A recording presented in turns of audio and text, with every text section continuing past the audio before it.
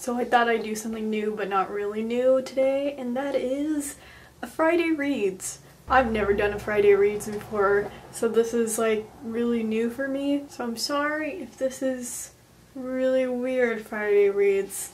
I'm not sure how this is supposed to go down but I will just show you the books I'm reading currently. So the main book that I'm currently reading right now is We Should Never Meet by Aimee Phan. So this book is a book of short stories and it has eight short stories following the lives of four Vietnamese American adoptees. It shows how they were abandoned in Vietnam during the war and how they lived their lives in America as a, as Asian American adoptees. And these short stories are actually connected together, so together it makes like a pretty intense novel. So yeah, I like it so far. I'll tell you how it is once I finish. I also started reading the first few pages of Truman Capote's In Cold Blood and I had just watched Talking Down the Sun's review on this and she said it was really good. So yes, this is a non-fiction book and it takes into account this murder that happened in 1959. That sounds super interesting and I want to know what's that all about so that is why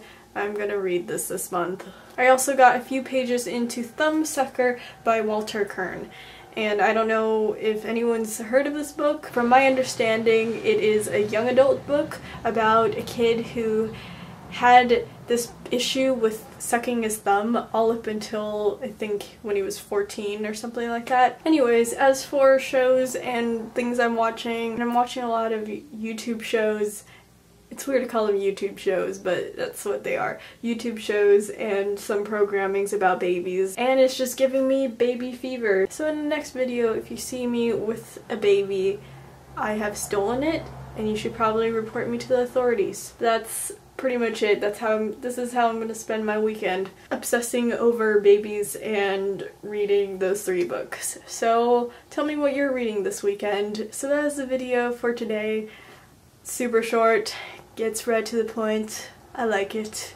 And if you haven't watched yesterday's video, it'll be at the end slate, and that is the video in which I talked about the 10 things I love about BookTube.